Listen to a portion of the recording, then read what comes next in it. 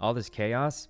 I feel like I heard Mr. Lang say like you really want this that badly or something. So uh, the vibe, man, is weird. It, it sounds like it's it's very forced, but I don't know if I'm just imagining it or not. So, but uh, I mean, from the story I've been told, right? It sounds super random. Like I have no idea what's happening. Um, I mean, I, I don't know all the details, obviously, but like, Mr. Lang doesn't even sound into it. He's just like chilling, just getting set up for stuff until, you know what I mean?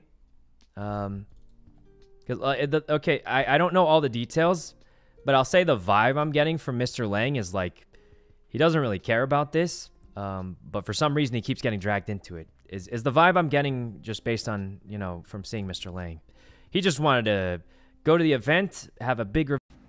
我们一起写喵叫，一起喵喵喵喵喵，在你面前撒个娇，哎呦喵喵喵喵喵，我的心脏砰砰跳，迷恋上你的微笑，你不说爱我，我就喵喵喵喵。